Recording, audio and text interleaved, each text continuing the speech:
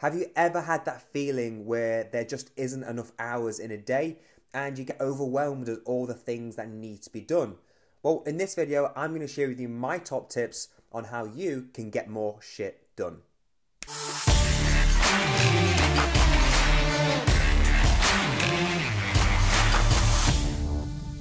So my first tip is to get yourself a digital calendar such as Google Calendars or iCal if you're using Apple. Um, basically somewhere you can check your schedule from your phone or your laptop anywhere around the world so you know exactly what you're doing at what time. And the reason you want to do this is because what gets measured gets managed and you're going to be measuring your time by putting a few things in it. Now one of these things is called your non-negotiable time. Now I call this uh, my get shit done time and it ranges from 7am till 12pm. Working in the job, the police or the NHS, you might not want to do that long. You might want to do two hours or three hours. But basically this time is protected time. No one steals away your agenda. So my team and family know not to contact me within this time unless it's an emergency. Now I convert my uh, converse with my team um, in the mornings generally anyway because we have sales meetings um, and, and, kind of operations meetings. Um, but basically, if I've got that time blocked out, they're not to contact me or give me any workloads or anything else that I need to be doing unless it is an emergency or there's a deadline for it. Um, so just like brushing your teeth or going in the shower, uh, it's non-negotiable. It must get done, and these things are going to have the biggest overall impact on your business. It's going to change your life. It's going to move your business to the next gear, and ultimately, you're going to be able to get more shit done in the same amount of time. So the next tip is to remove distraction by making sure you're turning all notifications off on your social media. Social media can be the biggest distraction in your life. And in business, as an entrepreneur, I believe you should be using as a tool. So what I mean by this, I wrote about this in my book as well. If you're a singer and uh, you don't have your microphone, you don't have your speakers, there's only about 200 people that could, you know, probably hear you. Um, but if you do have your microphone and your speakers, then the whole you know the whole stadium can hear you, and that's what social media is like. You know, you will be you know stretching your message, you're getting your content out there, it's reaching more people, ultimately uh, creating more exposure for your business. And what I find people doing is scrolling through Instagram or uh, Facebook, just aimlessly drifting, liking, sharing shitty videos that's nothing to do with their business, just to get the like uh, or social approval, but that in itself has a damaging effect on your productivity and you moving your business, ultimately changing your life. And for those who say, yeah, but I like to stay connected with, you know, friends and family, call them. You know, before social media, what did you do then? You called people, right? You probably text them, you call them. Do the same now. Stop aimlessly drifting around, watching cat videos or sharing funny videos, and instead use it as a tool because it is amazingly powerful. And by eliminating distraction, you're going to get more shit done in the same amount of time. So, next is setting up your environment to win.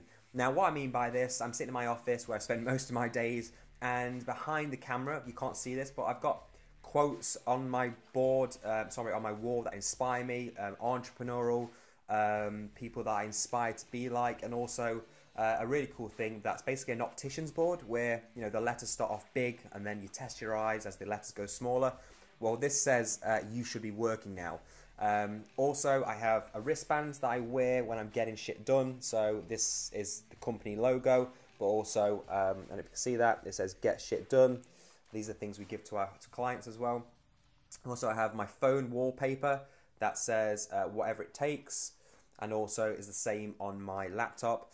Um, and also, I have every single name of our cohort community. So, ex and serving police officers, members of the NHS, nurses are on my whiteboard. And the reason for that, just like the people and the entrepreneurs on my wall, is that I want to surround myself with greatness. You know, people who are inspiring, people who are stretching themselves, people who are achieving goals, people are starting to grab life by the balls or have grabbed life by the balls and doing amazing things in the entrepreneurial space. Um, and also, I have a vision board. Uh, I have my vision board. I think it's very important for your mindset, something where you want to aspire to, where you want your life to be. Um, so that's to my right hand side as well.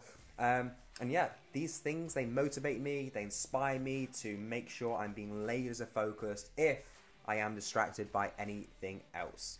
Next is managing your calendar or email inbox. So for me, I do not manage my calendar. I don't manage my email inbox. Um, I have someone who does that for me. So any emails that are non-urgent, they don't need my time, um, basically things that can be just sorted by someone else, um, that is sorted by someone else. Um, if it is required my time, then um, the person who manages my email inbox will pop it into um, a certain folder for me to action at a later date. And also, when it comes to managing my calendar, I make sure that you know if people want my time or they want to book in a call with me or they want to you know interview me or whatever it may be that that's been handled by someone else because essentially it's appointment booking um, so these things don't require my time and also it'll free up a lot of headspace when you're not trawling through your emails and it is the nicest thing going to your email inbox every morning just knowing that it's clear and you don't need to trawl through lots and lots of emails just to find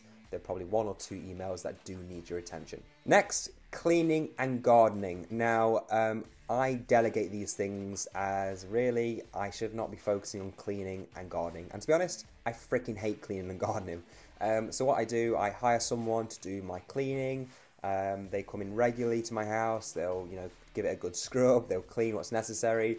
Um, and yeah, it's been a massive help. It frees up time. Um, I don't need to stress when I walk around the house that this is dirty or that's dirty.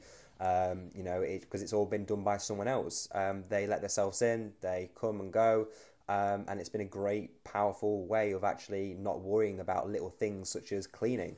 Um, also, when it comes to gardening, I'll be honest with you, DIY gardening not my forte whatsoever. So when the grass is long or, um, you know, something needs doing, like a poop pick, because I've got two little dachshunds who, you know, poo constantly, um, that is done by someone else. Um, I don't want to do it. I don't like doing it. So why would I spend my time doing it? Um, and it's quite easy to get caught in the trap of thinking, yeah, but this costs money, Alex. You know, how much does it cost? Well, for me, it costs about you know twenty pound for the cleaner to clean the house, uh, and also it cost about uh, I think about £10 or £15 for the gardener. Um, and yeah, that costs money, but actually I'm not focusing on what it costs. I'm actually focusing on the time it frees up so I can actually use that money, sorry, that time to focus on income generating activities, which I can assure you is much bigger than the time uh, spent um, or money spent um, paying for a gardener or um, you know a cleaner for my house. So highly recommend it. Don't stress about the little things such as cleaning and gardening. Get it out of your head and delegate these things to someone else who's probably better at doing it than you. And lastly, a powerful tool is to write down the things you need to do the day before you do them. Now, there's nothing worse when you're lying in bed and all these ideas or the things you need to do are just floating around which ultimately disrupts your sleep. So I'm a big believer that getting these things down on paper in the books um, really helps you to remove that kind of um, worry or anxiety out of your out kind of your your mindset. Um, so what I do, I believe, a notepad next to my bed, and also um, before I kind of close down for the day, I kind of shut down and start, you know, um, you know, have a glass of gin.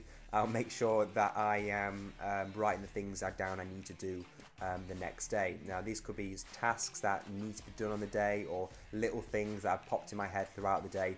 It's on paper, I'm not going to forget about it, and also that frees up a lot of um, headspace um, and ultimately decision making because you know the more decisions we make in a day, um, the more mental fatigue we have, which ultimately affects the productivity we have throughout the day. So getting those things out on paper really, really uh, a great tool for getting the most out of your day and getting shit done. So that's it. That's my top tips for getting more shit done in the same amount of time. And that's a very valid point. You know, myself and you watching this have the same 24 hours in a day. The billionaire and the broke person, they have the same 24 hours in a day. And when people say they haven't got the time to do things, number one, they're either saying it's not a priority for them, or number two, they're not managing their time effectively. However, by watching this video, I hope you can now get more shit done and ultimately get more business success going forward. Thanks for watching and if you did like this video, don't forget to like, subscribe and share and I'll see you in the next one.